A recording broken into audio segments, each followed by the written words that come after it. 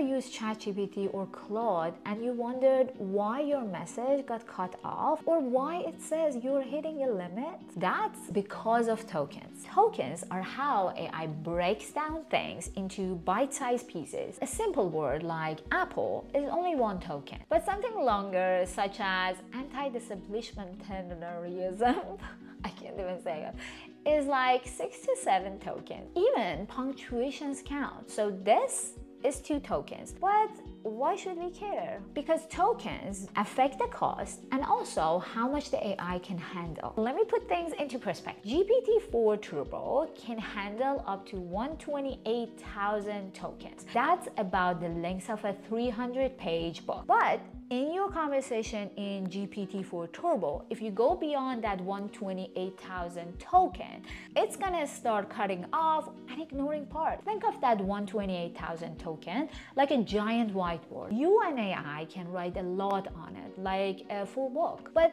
once the board is full, writing something new means erasing something old. Technically, hitting that 128,000 token doesn't block you from asking more questions. It just means that the AI may start to forget earlier parts of the conversation. Also, both your prompt and the response count toward that total. In other words, more tokens equals to more computing equals to more cost. Now you tell me, have you ever encountered any of these issues? And follow my page for more about AI.